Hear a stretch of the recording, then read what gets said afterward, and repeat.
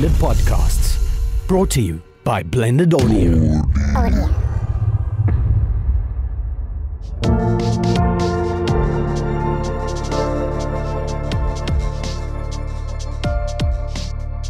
ArtPod is a South African focused visual arts podcast hosted by Claude Chandler. Join me weekly every Saturday as I'm joined by a new guest who occupies a position within the visual arts community, ranging from fine arts, tattooing, framing, and logistics.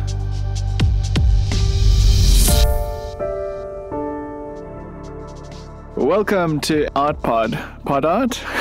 Art Pod. I just did that to get under your skin. Um, I'm joined today by the big boss man, Pieter. Oh my god, I forgot the. Matthyser. All right, I'm joined today by Pieter Martesa. Yeah. Um, thank you for being on the show. Yeah, Um, thank you. Thank you for having me. Thank well- you for having me on the show. I made you do. yeah, thank you for having this show. Um, so before we start, um, can you just talk through blended audio, or not blended audio, blended podcast, and how that came to be? Yeah. Um, so initially, what happened was um, I got approached by um, Alistair, who runs um, what's it called, Center Stage, which airs every Thursday. And he came to me basically just asking if he can use our facility as a space to meet with um, some of his artists. Um, and he didn't really want to use our equipment or anything. He just wanted a central space to meet people. Oh, And then um, I was like, you know, give me a couple of days so I can like think about it. And then a couple of days went by, and like, you know, a few nights, sleepless nights, um, when the brain's going, and I, I kind of came up with the idea that, you know, I can host the guy. I've got the facility to do it. We've got the time on Sundays to do it. And um, the only way that it can really work is if I've got um, more shows. So I came to him and I told him, look, we can do it, but we're going to need um, six other shows to fill up the rest of the week. Mm-hmm. Um, and then that way we can do this. And then he's, um, he sat down with me. We just w- worked through some themes and then we started hunting down some. You know, uh, hosts, um, which was not such a hard thing to do, actually. Like, I, I- thought it would have been harder. But um, the hosts that we got, I'm really proud of everyone who's doing what they're doing.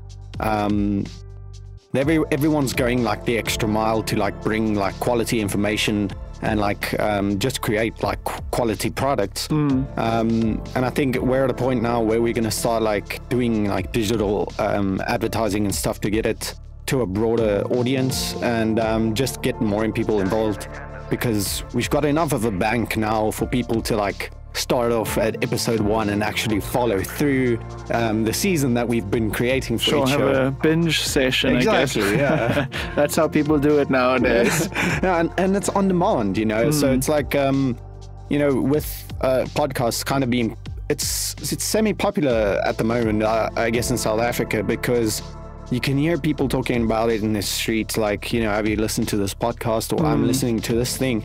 And it's like I thought, um, well, why not create like the first South African network of podcasts?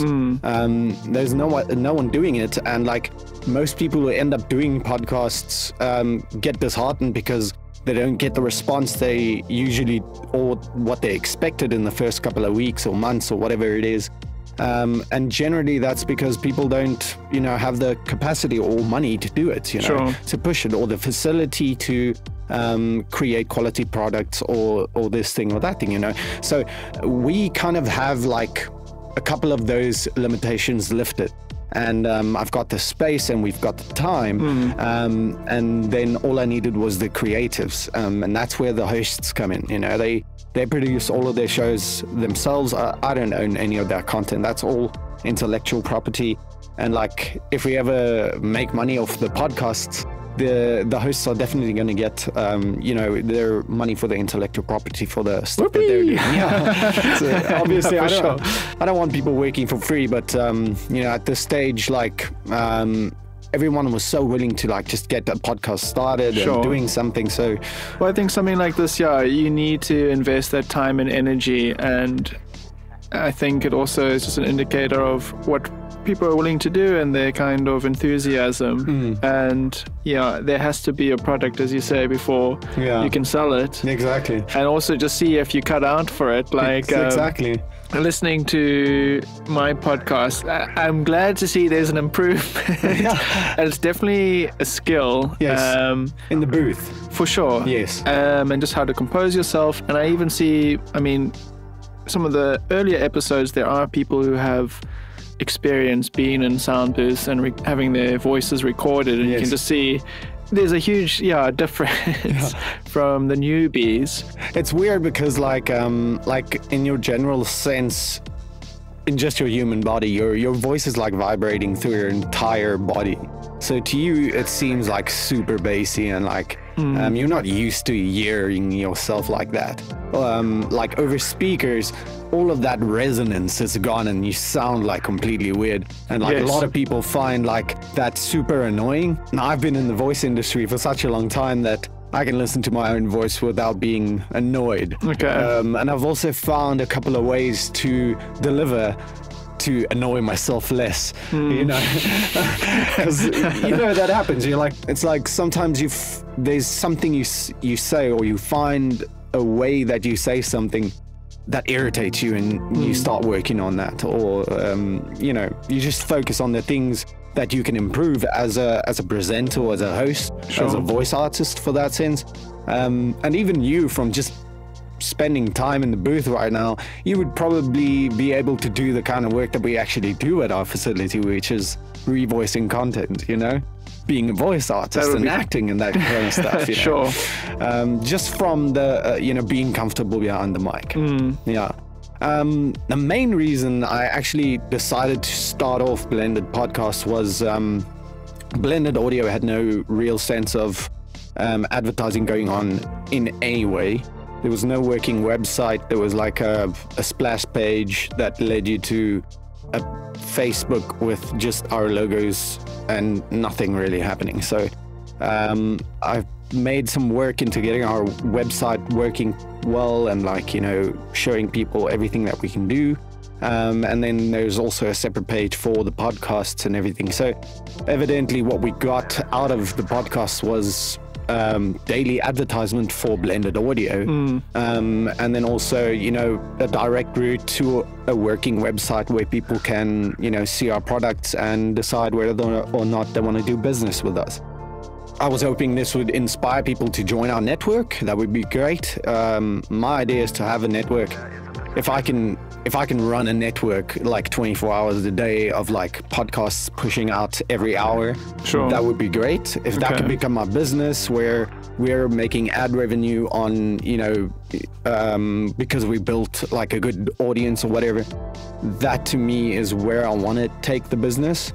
But currently, where we are is um, we're redubbing foreign content into English, Yes. um, which is which has been a blessing. I've made um, my career so far out of it, and um, it's I like I like my job a lot, and uh, the the people that we have are phenomenal. Um, the only thing that I find is that it's so reliant on having a client that um, we can't we can't expose ourselves to that kind of um, how can we say danger if one client drops us and the entire company falls apart. So Sure. you know, a part of uh, creating the blended podcast was to create a sustainable product that we create ourselves, um, and that we are not um, in need of a client. We are just in need of talent, and we have a bunch of talent in Cape Town. No, So- for sure. And I, yeah, and as you say, I think there's definitely a hunger for it. Yeah. Um, even for the the visual arts podcast, the reason I was so quick to say yes was um, my desire to hear a visual arts podcast. There is one called Unframed, Yeah. which is great, um, but the content released is quite slow and there's not that much of it. Um, and it's just nice to kind of share, you know, local visual art stories Exactly, and yeah. people in the community. You see, that's the that's the problem I saw in the first place with like just helping out one person was like it's not really going to benefit them or us in any way. Hmm. So, you know, having the network, it's like if everyone is working under the one blanket, then, you know, people come to blended podcasts because there's new content every day. Regardless of what the content is, there's new content to listen to. And whether you're into like uh, emerging technologies or um, art or drama or um, sound and music, we've got all of that stuff covered. So um, it's kind of uh, a place that I've tried to create a place where people can come to and kind of listen to all of their interest and mm-hmm. not just like support one um, uh, podcast at a time because I think that's where most podcasts end up falling, um, you know, through the frames. It's mm. like they they get to a point where it's been a year, they're still just getting 37 listens every month, and then they lose hope, and then they just kind of let it go. And that's how me, how, how most South African podcasts actually end up, um, you know, dying down. Here, we have the opportunity of the space that we have available, and um, we're obviously just then reliant on the hosts and their availability because there's obviously a lot of research and stuff that needs to go into every episode for each of these uh, shows. No, I, I don't know. Maybe maybe a little bit a little bit less for some than others, mm. but hmm. like a lot of um, you know, especially like um, Feed Me Honesty uh, is about like lifestyle and like health and stuff. So I know the presenter Hazel Priscilla goes into a lot of detail um, with like health and hair and like everything you can mm. think about. Um, but she researches like so well and like she talks about stuff and i'm like holy shit i've never even like thought about it sure um, and that stuff women think about that you know me as a as a male i don't think about those things all the time and like maybe sure. it's a good thing to hear about those things every mm. once in a while you know um, especially if you're like into developing as a human being and like being part of society uh, you kind of need to know how women feel about things. Mm. Um, and a lot of women are like very health conscious. Um, and just by living with with Hazel, we've been living together for like four years, just over four years. Um, and she's totally in charge of our food mm. because I couldn't care what I eat, um, and she wants to eat healthy. So mm. yeah, she she has been keeping me on her diet. That's good. I'm kind of in the same boat for sure, and I definitely felt the benefits of it. Yeah, but I, I, do I do the dishes and the washing. All right, and yeah. she does the the groceries and the food. Okay, That's that sounds like deal. a great deal. Uh, it's a recent one. We had a big fight. That's how those deals come to me. yeah, but I'm okay with that. I, I, I, I believe in a balance. Yeah. No, for sure. And I think um, we as guys just need to be kind of reminded, and it's like the only way it sticks, really. Yeah. The thing is, with us, I think our generation was really bad because um, we had our mums and we had like you know help, house help and stuff. So um, we kind of gotten used to being babies, you know, mm. like you're busy drawing here, drawing here, and like you just leave your shit there and you go on to the next thing. Sure. And now I'm a big ass grown human being with like a fucking million around dead on a house, and still I'm not like used to putting my not uh, completely my domesticated plate, yet. my plate into a washing machine, you know. Yeah. Um, and I get why I could piss someone off by doing that. So it's stuff I need to work on. Obviously, sure. like every person does. But I think it's also, yeah, I mean, we've kind of gone on a tangent yeah. here, but it's like, and I think it's fine. I have to just constantly remind myself, and almost like it's um, like a parrot red um, yeah. thing where it doesn't come naturally, but I think that's also fine. Like, yes. even if it has to be drilled into you, it is. That's a way of going about it. Yeah. But I mean, with the podcast, you've definitely covered great genres, and you know, mm-hmm. especially things like health, which are a big part of the zeitgeist and kind of contemporary yes. living now. Um, and just saying, building up a podcast ne- network, has there been a thing of trying to not poach, but pick up other podcasts and consume them into mm. the blended? Look, at the moment, like um, it's a it's a slow process mm. with podcasts. It takes about six months to a year for it to show any kind of profit at all. Yeah. So it's a slow game at first, and um, you know I've ha- I've had people like approach me with ideas and stuff, but at, at this stage, you know, everyone is kind of working pro bono and like, you know, um, running six shows uh, pro bono with the guys that I'm working with. It's just um, three other engineers that are working with me, four um, that are working on this project with me. And they're all doing it, um, you know, for free, um, with the hopes of creating a product that we can, you know, Sure. you know, make some money off one day, um, which is essentially a product that we would own. Um, but I've got good guys, Alex and Stefan, um, mostly because they've been mixing this stuff. Yanu has been helping off with uh, Freaky Fridays. Um, so yeah, there's there's a lot of help from every from all sides. Um, it's just a matter of like um, there's a bit of pressure of on me on making sure that this Sure. project um, doesn't like fall through Yeah. and I'm uh, I've always like thought of myself as quite a determined person to make sure that you know if I take on a project I know exactly what's going on and like where I'm going to take it and like what the plan is for the future of it. Um, I never start a project thinking about just like starting it. There's always you know six months or a year two years in advance that I've planned out already. Um, and the thing that I've realized, uh, which is kind of a bad thing that I need to work on, is like all of this stuff is already worked out in my head. But I think, I think I've already spoken to people about it. Sure. And then, like later on, people realize that um, they never got this information. Yes. and then um, uh, it's just me not sharing that information because I, I'm like constantly in my head thinking about like um, how I can like expand on this idea and you know having these internal uh, conversations with myself almost makes me feel like I've had this conversation Being with there, done that, yeah. so um, you know w- with you you've done like 50 minute episodes and I keep telling you Yes. uh, you know to keep it to 25 Yeah, we yeah, need sure. to save the long form stuff for later um, but that's like um, part of my plan you know if we Hmm. we get the long form stuff later and um, eventually I wanted to get it onto YouTube but we have like a whole um, set and everything available for the podcasts and stuff so that's that's kind of the end goal there No, for sure. I mean, for those of you listening, it, we should be doing 25 minute episodes. Sometimes I get carried away, or sometimes I get Yeah. they lock themselves out Yeah. of the studio. it's my fault too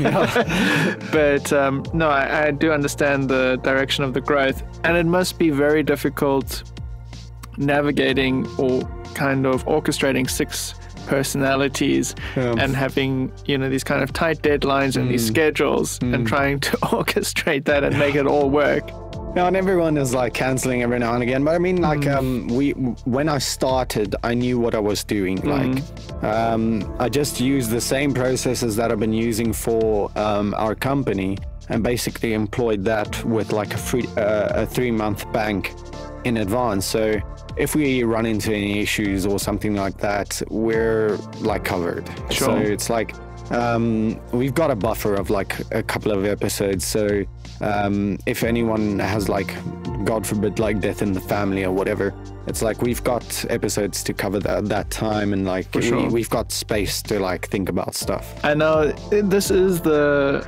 the visual arts podcast, Yes. and you've been basically listening to every single one Yes, that comes out and editing it. Is there anything that has been spoken of that's kind of resonated with you, or it was a big surprise, or anything that have kind of popped up? Or Well, actually, like every single episode has been a like a very enlightening um, thing because you know being involved in the post production industry and then getting this kind of um, like flashlight into the the visual arts industry is is very very interesting.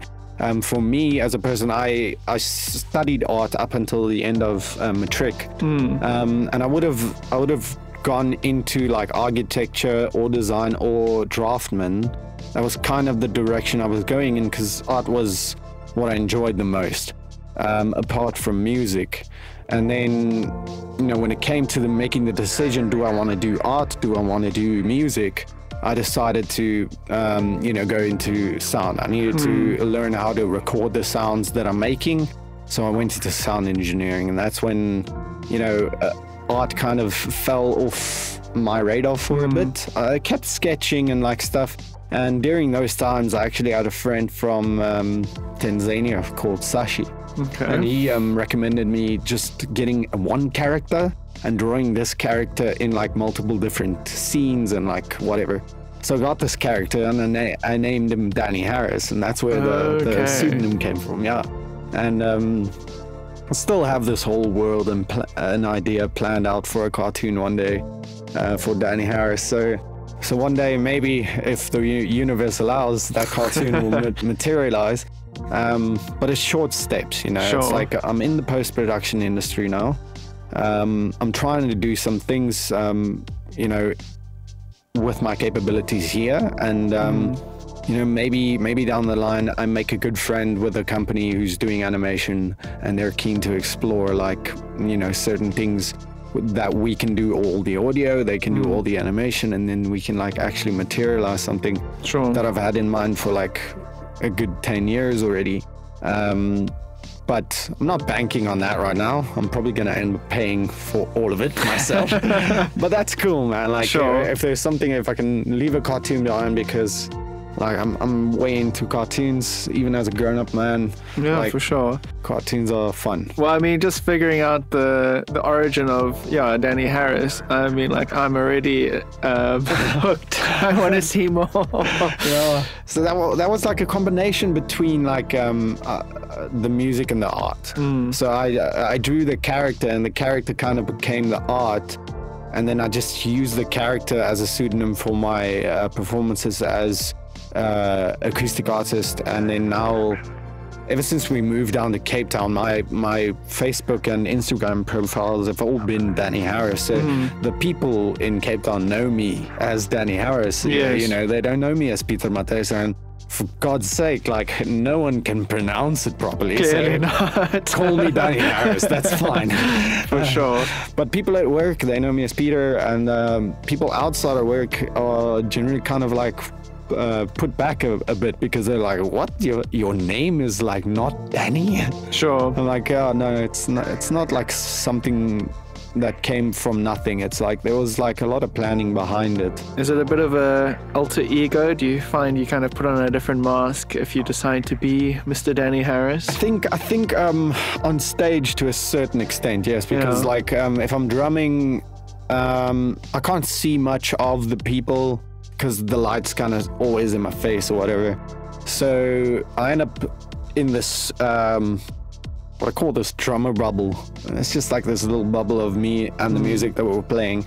And I always try to enjoy it as much as the people we are playing it for. Because I've rehearsed those songs hundreds of times. I do not need to think about what I'm doing anymore. Um, and that's like special because now I get to like enjoy the music while I'm performing the music um, with the people, and that's kind of uh, another another thing that I've been um, like realizing now at the end of the cycle of our um, album, which was the Great Silence. It's been two years almost since we released it, and. It's been interesting. Uh, a lot of people, good feedback that we got. We won like best prog band for 2018. Amazing. Yeah, uh, at the SAMAs, which is like the double M, uh, South African Metal Music Awards. Oh, Yeah, cool. And um, yeah, so that's and we didn't really do much this year. Um, in terms of the public eye, but we've been working on like rebranding our um, band and like um, you know getting more merchandise out and like uh, we registered the business, trying to get like stuff to work in a way so it works like a business because Sure. yeah, just doing music doesn't really cut it. I think yeah, there's definitely a point met where you have to figure out a way to elevate it or to you know monetize it. monetize it Yeah. and which means growth and i think Yes. sometimes people hear the word monetization and there's a sense of like selling out or Yeah. corporatizing which is bad Yeah. but i think ultimately there needs to be that um, there's that incentive and then even a bit of validation that Mm, what mm. you're doing is worthy of people giving up money. Exactly. And I think that's the best affirmation Yes. because people are really hooked on their money. They Yeah. really like their money. You work hard for your money. Yeah, Right? So and- when you so you pass that money on, you're passing on that hard work. For sure, yeah. Um, and like we're we're actually um, yeah, this won't be airing at the time, but we're running like a Black Friday special with like a package of all our new uh, releases with like our new logo and stuff. Um, you, will, um, you had Simon on on your first episode, yeah, and he actually helped um, design the logo, the the redesigned logo. Um, I helped with that. Sure. Um, so I guess I was like the creative director from the Oh God side, um, working with Simon on it. Um, we just kind of figured that works best. Everyone in the band kind of has like a certain set of skills. Um, we do have three sound engineers in the band, but there's definitely one that's better than all the others. Um, and we do have someone like myself who's good at setting, setting up processes and like you know registering a brand, starting a business, that kind of stuff. So um, that's my duties. Um, we have someone else who's basically his job is just like writing as many riffs as we can as he can, so we can like just go through it and like make the best possible combination of them that Sure. we can. Yeah. Funny enough, like um, after studying sound engineering, um, I stayed with my parents in Pretoria for about a year after um, doing a, a tattoo apprenticeship. Um, I, be, I believe you had Victor on last year, um, um, ugh, last week. Sure. Yeah, and I had um, I have a good relationship with Victor. He used to um, work out of my house for a while. Okay. Um, yeah, he was um, he had a difficult time, and um, I had all of the equipment and stuff. And I wasn't using it, so I had this space, and then we uh, made an agreement. So um, he started working out of my house um, when I was at work, and like, so that, that was like a Your parents' house. no, no, no. This was Oh. in Cape Town. Oh, yeah. okay. It I was see. like I see. a couple of months, was couple of years your ago. poor parents. No, my house. Um, All right, and, yes. yeah, and that um, that was during a time he was struggling. Um, he didn't have a place to work, so I I could offer him that. Okay. Um, and the stuff that he needed, and you know, it was like a mutual beneficial relationship at Hmm. the time. Um, and that ended up like you know when I, when I started renovating my house and stuff, I didn't want um, you know his people having to walk around like Yeah. areas where I'm like breaking up my house and Sure, stuff. so I told him like, look, dude, I'm sorry, but you're gonna have to find a, a Mm. new space. And then he ended up finding this wonderful space. I've been there a couple of times now, and it's it's really nice. Uh, Victor is a really cool dude to get tattooed by. Um, I found he's he doesn't have the the air um, that I I've experienced at other studios before. Not that I've been to many studios, but like um, during my year as an apprentice, I've I've walked around studios and stuff, and like you, there's like a you know almost like a biker culture, and there's like you know different biker groups like tuning each other shit. And that's kind of the same in the tattoo industry, or that, or that, well, that was my experience of it, and that's kind of like what pushed me away from it. Was like I didn't want to be involved in something where, um, you know, that that negativity is like so prominent every day. Sure. Or if you kind of if you get it, you have to join that community to just you even have get to a become tattoo. that. yeah. yeah, yeah. And I didn't didn't want to become that. Um, so during the time I was working as a tattoo artist, I was I was also working as a, bartender. Um, and that is also another big thing in my life that uh, you know working as a bartender for two years and then moving to cape town i decided to quit drinking alcohol like 100% because i ended up seeing the same people at the bar every single night. And that, that was two years seeing the same people. And i was like holy shit i do not want to become that person you know? Sure. So I quit drinking for a good like five years. And I picked it up again this year. Not like hardcore drinking, but like if I get home, I'll have a whiskey. Ever since we Uh. started this podcast. No, but like uh, there's a place for for alcohol, I believe. Yeah. Um, I, I don't use it excessively anymore. Um, there's no benefits to using alcohol excessively. So For sure. um, especially financially. Like uh, the first couple of months moving into Cape Town and not having to drink um, saved me out of poverty, like extreme poverty. Uh, yeah, I didn't didn't have much coming here. Basically, came here with nothing but like one month's worth of rent and um, with a, a mindset to make music. And um, here we are. Talking. Amazing. Yeah, and it just Yeah. seems like you're a very busy man and you've got your, you know, finger in a number of jars of. You do, well, you you got to get them in as many jars as you can No, for sure. Yeah. Especially in South Africa, like um, you know, people don't specialize that often. Um, a lot of internationals, at least in the post-production industry, come here because they can get like four jobs done by one person. That in Germany maybe they would need to hire four people to do the same job. Sure. Um, so a lot of the work in the post-production industries and like even the production industries where they're shooting films, they're coming to South Africa to do it. Um, there's like some tax rebates and stuff and things that they get. They get benefits for coming here to do that too. Of course. Um, and they're saving a bunch of money because the South African actors are working for way less. Um, but still enough, you know, it's still good money for them in South Africa, but it's way less than, you know, this production company would have paid to do it in America or something like that. So it's interesting. It's been an interesting field to be like exposed to. Um, when I studied sound engineering, I never thought that I would end up in this kind of environment, like revoicing foreign content or producing podcasts or this thing or that thing. But um, I've always um, had my, my roots in music, and that thing is still going. It's still going strong. And um, that's something I think won't end anytime soon. That's like, yeah, the main focus is making making music, and um, hopefully creating some sort of business out of that. For sure. Well, I think we're all on the right track and we will see how the podcasts grow and I'm sure it's going to Yeah. become a great, fantastic thing. Thanks for the chat. Yeah, it was nice to kind of, yeah, just talk about the, the rise of Blended Podcasts. Yeah, thank, thank you very much for having me. No, well, thank you for hosting me as a host. And recording you. and recording me and doing all the all the logistics. Anyways, thank you Blended Audio for making this possible and catch me next week where I do a solo run. Thank you very much. ArtPod is a South African focused visual arts podcast hosted by Claude Chandler and produced by the generous assistance of Blended Podcasts brought to you by Blended Audio.